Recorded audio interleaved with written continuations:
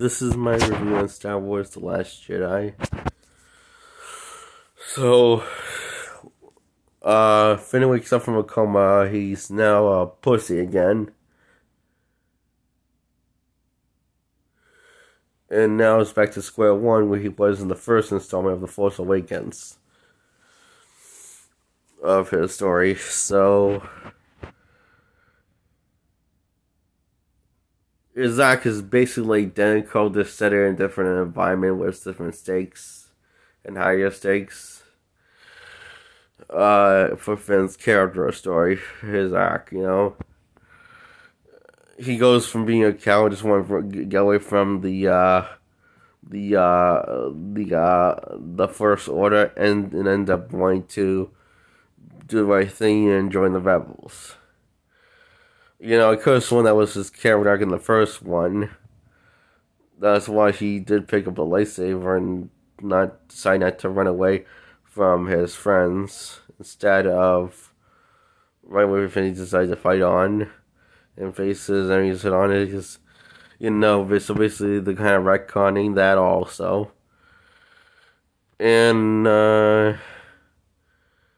he gets tased and trying to escape, you know, it and ends up finding with falling with this Asian girl that really is honestly kind of dumb and annoying. But then again, so is Finn in this one, so they kind of connect on the dumb annoying levels.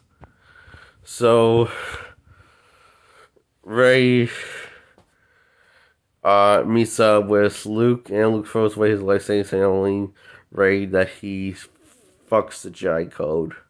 And doesn't give a shit about the Jedi Code, saying fuck the Jedi Code and fuck the Jedi's. And the past bloodlines of the Jedi's.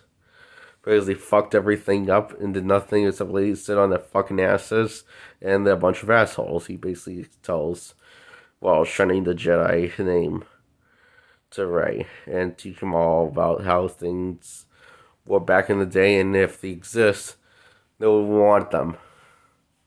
Because they make things worse, they make things and versus making things better. They did more harm than good because they're assholes and lazy and kind of clueless. So, they, which she's 100% right on. They are assholes and do kind of suck in terms of being the heroes if we based off what the uh, prequel trilogy showed us, you know. Uh, that they don't really do nothing. This kind of just judgmental assholes that join a cult and don't really do the right thing to say they're doing it because they're entitled to it.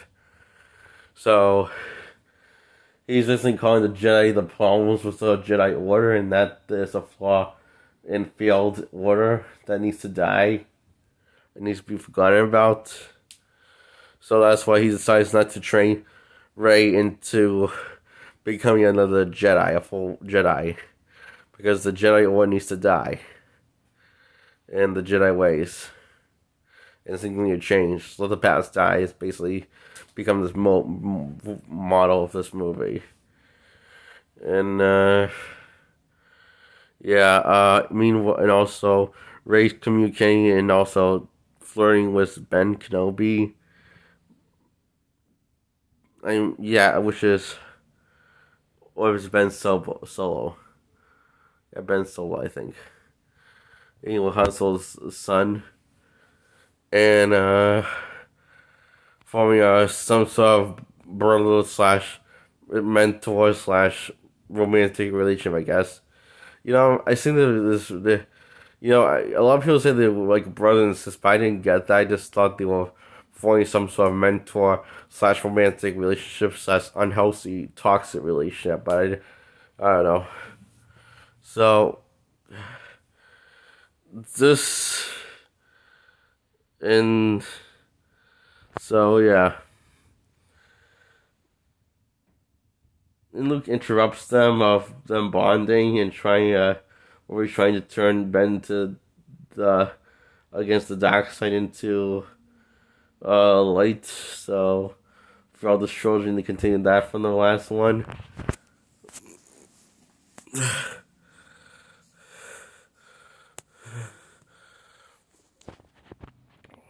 wow. Ben's trying to do the opposite.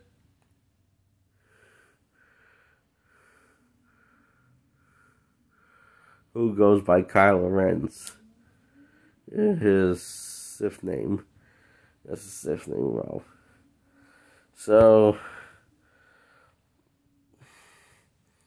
he ends up ditching his helmet and smashes it and destroys it and ends up ditching the helmet and now spoiling a no helmet look. Okay, uh, so uh still playing obsessed with his grandfather Darth Vader. And uh to one health level and uh Rey believes it's still good in him for some reason. You know, by the end of the week, she seems to give up all hope and see him as a lost cause. After he tries to kill her multiple times in the rebellion too, and fails miserably at it. After he kills his master and takes over his master's job as the supreme leader, and becomes the new supreme leader, and kills his master, his old master, only just to get ready form a new alliance. She turns it down. Escalating them using the force against each other, and one of them trying to play take over a lightsaber for some reason, and then end up Rey ends disbanded. The he's unconscious because uh, explosion happens. So yeah.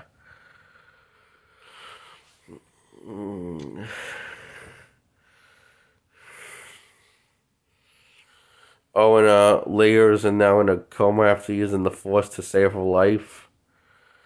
After getting shot into space, so we know knows can that she is really does have the Force that was kind of a throwaway idea in the third installment of the original trilogy. So yeah, and uh, so they finally put closure on that. So mm, and uh, she's now coming out purple hair lady that I'm going to call that's also going nickname her dumbassly.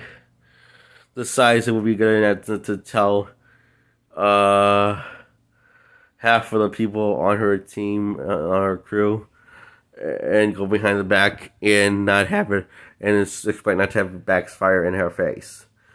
Which the opposite happens of course.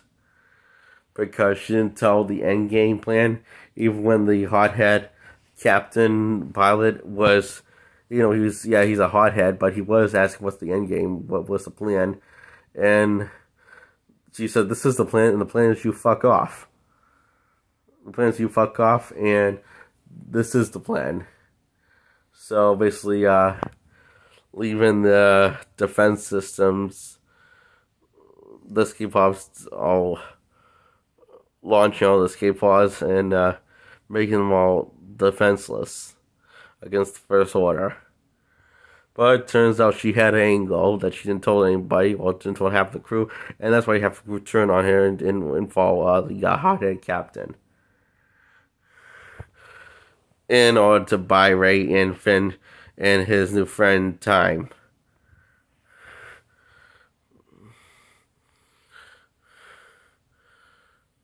And then Leia wakes up from a coma and just blasts the hothead. For some reason, it's, I know why she had use a blaster. Why can't she just use the force to put him asleep? It, it just makes no sense. I don't know why she because she does have the force. Well, again, that is lazy writing, and this is a lazy writing plot, and that's majorly convoluted with storytelling, and without telling a coherent story at all. The only coherent story that they tell us uh, of is involved the stuff involving Luke Skywalker. And uh, yeah, Purple Lady decides to sacrifice herself to save the rebellion after they getting uh, fired on and goes light speed into the ship to smash the Force Order ship that's fighting the Rebellion. So, the rebellion all meet up, including Rey and Finn and his new friend meet up on the same planet together. While Rey's driving, stalling, buying time, and helping out with the trying driving the Millennium Falcon, uh, and destroying a bunch of robots, uh, pilots in uh, while dodging their attacks, which uh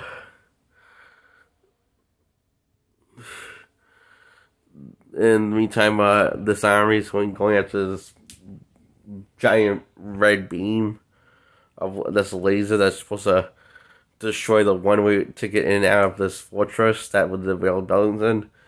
And, uh, and it goes off, and uh, going to make a whole sacrifice.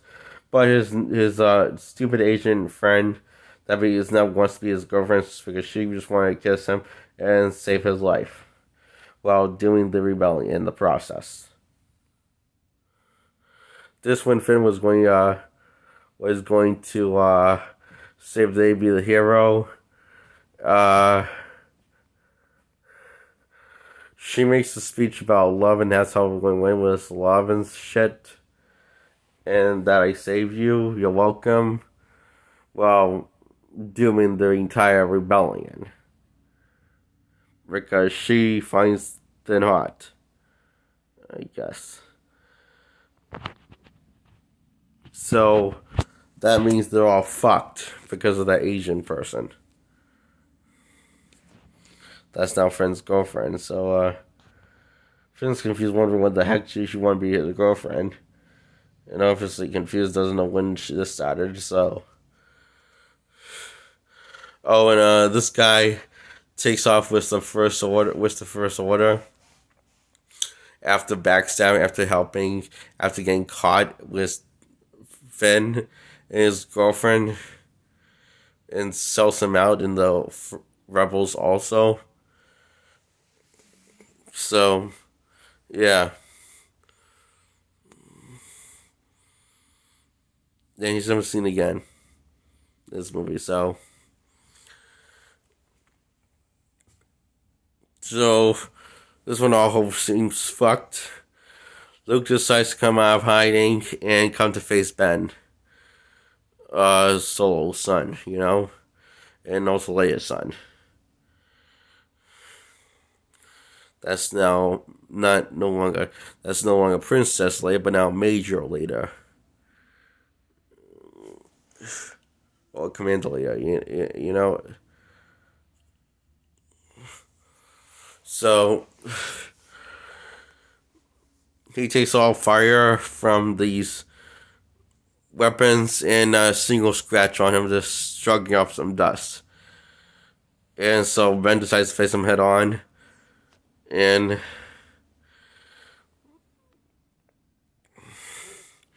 he's doing this just to buy time for the rebels to escape. Uh, the hot haired guy figures out, and they'll follow him after looking at Leia for a second, and he she asks, "What are you looking at me for?" Follow him. He is good. Yeah, like listening to listening to God, just basically. So, okay. so, yeah.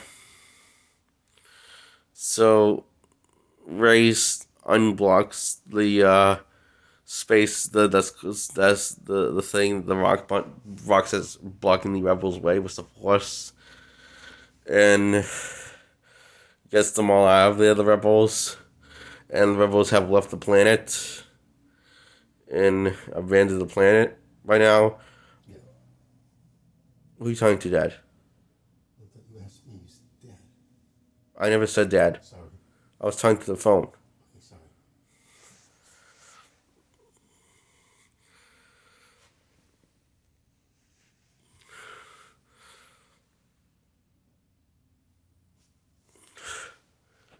So, fuck. Fuck! Jake, I thought you said dad. You distracted me. I can't remember where I was. Sorry, honey. I thought you said dad. Where was I? I In the review of Last Jedi. I can't remember, Dad. I'm sorry. No, no, this, no, no. You don't just get to brush this off. You gotta tell me where I where I left off. Focus. L- Trying to, Jake. The Last Jedi, not the Return of the Jedi. Last Jedi, the one from 2017. You said something about you were saying talking about uh, uh the the Mark Hamill character. No, it wasn't. I was talking about the Rebels. Dad, And I'm all screwed up. I'm sorry. you know what? Don't help. Dad, I'm trying to think. you can't help, obviously. Stop trying. Now I have to start over again where I go. Fuck. Can't go back to that part of the video. I'm recording now! What are you talking about? That's not how it works. You can't record and rewind the video at the same time, Dad. Dad? I said I'm sorry, Jake. No, do you understand? Yes, I do. What do you understand? I didn't know you were still recording. I'm sorry. That's why I was asking where was I? Dad. Okay. Why do you when do you ever heard me say where was I after I finished recording? I didn't say you were done recording. Ask me. Answer me. Never. Okay, so maybe you should stop then. And sh- shut up. Sorry. But you should, Dad. But you're not helping. You're not helping. Okay?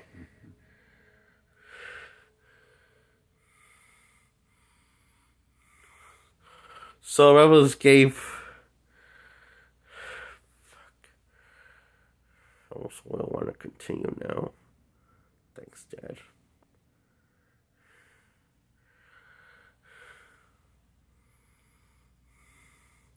So the rebels fucking escape. And turns out Luke was never on the planet. He was just using the Force uh, himself as a prediction himself on the planet.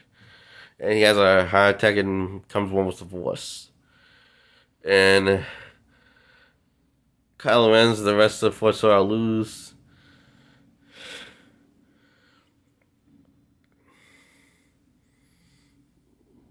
After finding out they already lose, and Luke told them, and that he marks, he says he won't be the last Jedi. So yeah.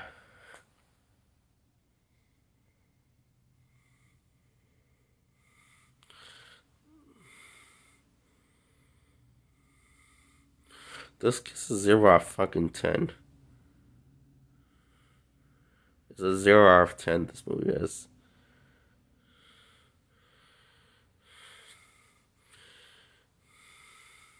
You know, I would say I enjoyed reviewing this, but that would be a lie because Dad fucked it up by getting me distracted.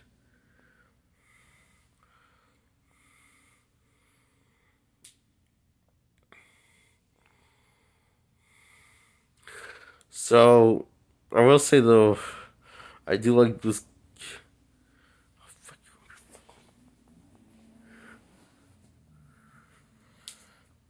Can you not make noise now? I will say I like Luke's character arc, uh, how he becomes a, how first he's now a bitter old man, and uh, with the help of his old master, Yoda helping him out, burning down the all of the Jedi scrolls and books. He has a change of heart and realizes that he needs to be whatever everyone expects him to be, and ends up uh, feeling relief at the end of his life. And last show we see him looking into the sunset. Kind of so it's good, not not bad job paying homage to the past of him looking into the sun's sun the the sun the dawn of the sun going down, like you know how he did in the original trilogy, and uh, you know wondering what his purpose is, and uh, so in this one he's basically realizing his purpose, and he's really happy. So uh, it's kind of the reverse of that we saw in New Hope.